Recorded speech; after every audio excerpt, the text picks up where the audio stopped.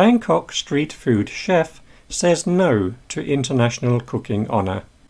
A street food seller does not want a top chef's award. Jai Fai, 72, is the crab omelette queen.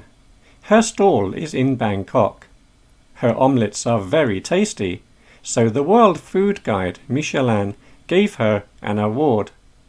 Usually only chefs in top restaurants get this award. Many people are surprised that a street food seller got the award. Jai Fai is not happy with the award. She doesn't want it. Her life has changed. She doesn't like being famous and wants her old life back. She is getting stressed because tourists are taking photos of her.